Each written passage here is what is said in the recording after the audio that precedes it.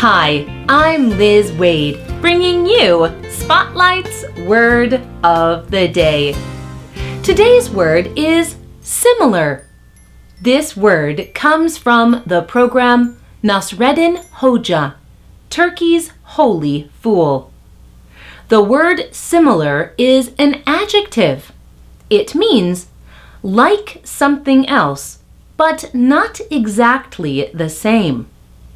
Here's similar in a sentence from this program. These stories are all similar in some ways. In the comments below, try using the word similar in your own sentence. Be sure to subscribe to Spotlight on YouTube to see more videos to help you practice your English.